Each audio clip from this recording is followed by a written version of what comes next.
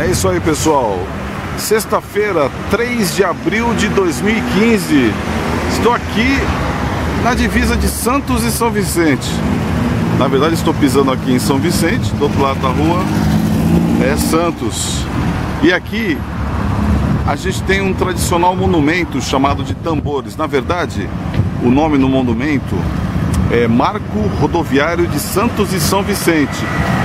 Ele foi inaugurado em 1967 na gestão do prefeito Silvio Fernando, Fernandes Lopes. Vamos chegar aqui pertinho do monumento para a gente dar uma olhada.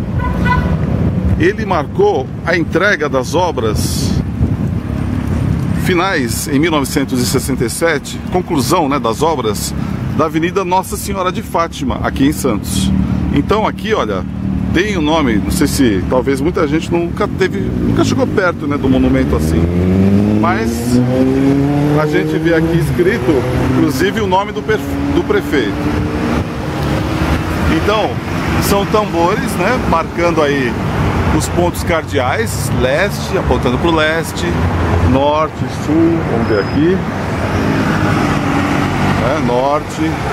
Então, olha só, o que está escrito aqui? Prodesan, que a gente sabe que o significado da sigla é Progresso e Desenvolvimento de Santos, né? 1967. Aqui o nome do prefeito, ó, governo do engenheiro Silvio Fernandes Lopes. E ficou aqui eternizado o nome do prefeito. Aqui leste tudo mais. Então aqui a divisa das duas cidades. Não na praia, lógico. Aqui na área que a gente chama de Vila São Jorge, que é o bairro, né? Em São Vicente. E Avenida Antônio Emerick que é aqui.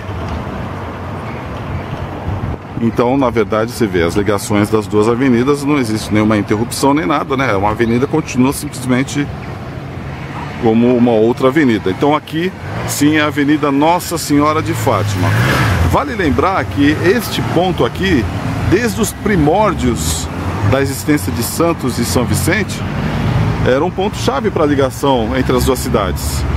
Em 1909, por exemplo, foi inaugurada, aliás, 1910, se eu não me engano, 1910, foi inaugurada a linha 1 de bondes, que em 1909 foi inaugurada a linha 2. Mas a linha 1 de bondes elétricos foi inaugurada aqui e era uma importante ligação, né? Linha 1. Muita gente aí antigamente falava, né? Ah, eu vou pela linha 1, que era uma alusão à linha de bondes. Hoje, especialmente, vocês podem ver aqui no vídeo, vocês já notaram, uma grande nuvem de fumaça. Essa nuvem de fumaça, olha só, impressionante, né? Foi por causa de um, um acidente que aconteceu ontem na Lemoa. A Lemoa é um bairro, vamos dizer assim, industrial, junto à área portuária. Ali tem reservatórios de tanques de combustíveis e houve uma explosão e estão queimando os combustíveis. Então formou-se uma grande nuvem de fumaça. Olha só. E essa nuvem está desde ontem, há mais de 24 horas, e pelas previsões, o que acontece? Tem que queimar todo o combustível. A previsão é quatro dias de queima de combustível. Algo impressionante aí. Bom, é isso aí, pessoal. Um pouquinho de Santos e de São Vicente mostrando aqui os tambores na divisa, né? Das duas cidades. Ok? Valeu, um grande abraço e até a próxima.